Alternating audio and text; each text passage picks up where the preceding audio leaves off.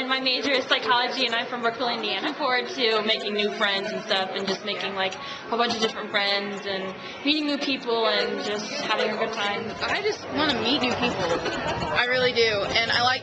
I really like the small class sizes and all the activities that they do. And that was really my deciding factor in coming here. I'm Bruce and I'm from Richmond High School. I'm Trisha and I'm from Richmond High School. And what I'm excited about this year is meeting new people and starting over the new school year, new school. And we're both really excited to cheer for the Red Wolves. Yeah! Um, I'm just looking forward to uh, starting off college in a good way, meeting a lot of new people, learning a lot of new things, and basically just experiencing. Um, making new friends and building on my college experience and building myself for my career. Nervous? Oh, I'm nervous about messing up. I don't know. The same thing any other freshman would be nervous about. I'm nervous about the workload and being able to keep up in class and, and things like that. But I think I'll be able to. The teachers here are Advice I would give to freshmen coming in is definitely add everyone on the Facebook because that makes you meet a lot of new people that you won't have another chance.